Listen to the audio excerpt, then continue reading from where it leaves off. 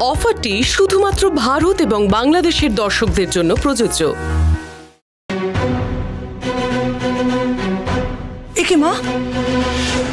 মা তুমি এত রাত্রেবেলা উঠলে কেন? তোমার শরীর ঠিক আছে তো? জল খাবে?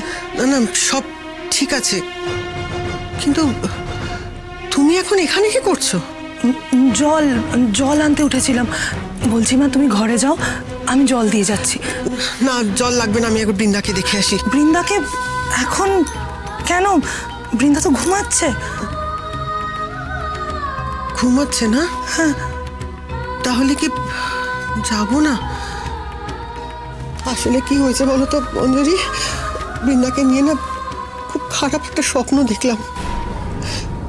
দেখলাম যে ও যেন কোথায় একটা আটকে আছে। কেউ যেন টানতে টানতে সেখানে নিয়ে যাচ্ছে। অন্ধকার জায়গা একটা। চারিদিকে বিপদ আর তার ভিতরে আমার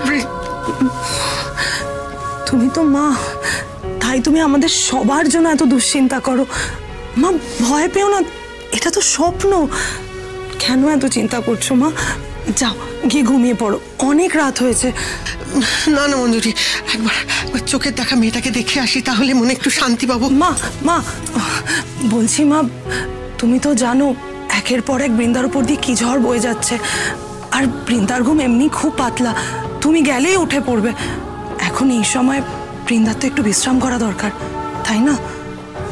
তা ঠিক ঠিক আছে আমি আমার ঘরে যাই।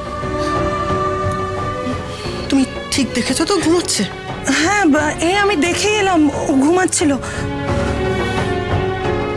ঠিক আছে।